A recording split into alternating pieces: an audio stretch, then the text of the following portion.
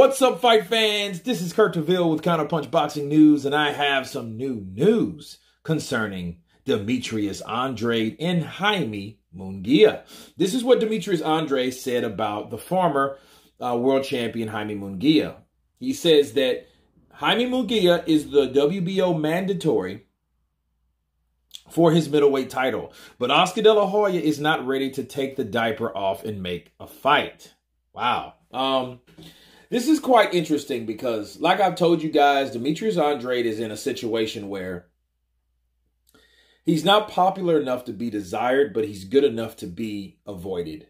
Okay. Um, I think he had a lot of bad business decisions, and um, Jaime Munguia, he's a seat filler. Okay. He's one of those guys that gives you action packed fights.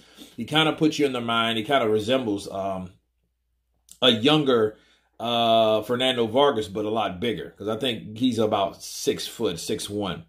Whereas, you know, Fernando Vargas was, I think, what, about 5'10.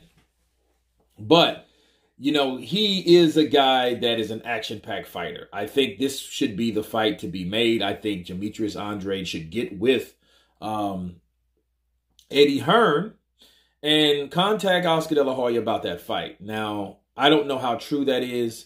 But I know Demetrius Andrade gets overlooked and frankly downright insulted at times when he when he tries to make a possibility of a fight with any of these guys.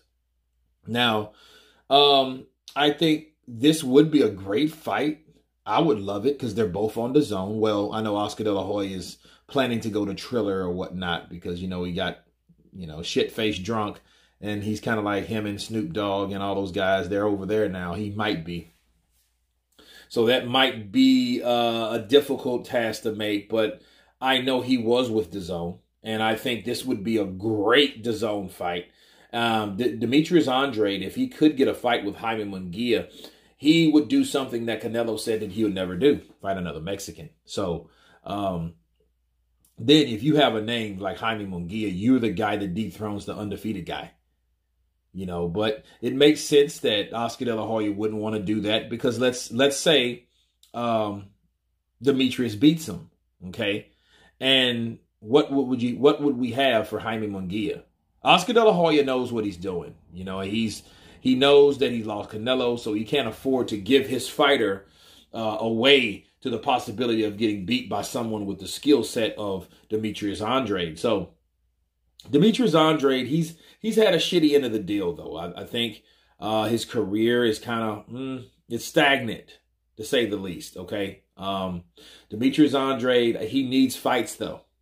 You know, regardless of what his career was, he needs to fight now, and he needs big fights. He needs to get fights to the point that Canelo Alvarez can't say what he told him when he was asking him when can we fight and what the response was of El Cinnamon.